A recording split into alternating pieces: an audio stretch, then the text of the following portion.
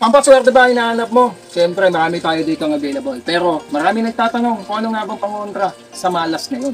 At sino nga ba ang malas ng 2024? Alam niyo ba na bawat taon, ang, ayon sa mga pungsoy, ay meron tayong tinatawag ng mga taisuy. Ang taisuy ay para silang mga malas o devil ng taon. Iba-ibang mga pangalan yan. Ngayon ay si Li Cheng. Oh, so ito siya. Yan. Kita niyo itong card na to. Ito ang 2024 na pangontra. Ito ay si General Liu Cheng. Itong card na to ay ang siyang pangontra ngayong 2024.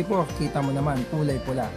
Kaya nga, ang kulay pula ngayon ang dapat na isinusuot natin bilang lucky charm. Kulay pula, mapabits man yan o kung ano man. Maaari mo siyang ilagay doon kagaya ng nakita ninyo. O ilagay sa pitaka o bag upang makaiwas ka sa malas. Siyempre, bakit sa amin ka dapat bumili? Dahil sa amin, ipiniklens namin yan. 100% i-cleanse natin gamit itong pang-cleanse natin. Ito ating cleansing oil. Ito, ang maganda. Ipiniflex po natin yan. Maaari namin i-flex dito sa YouTube o sa ibang mga social media. So ano pang hinihintay mo? Nandito yan sa description. Okay? Grab it now.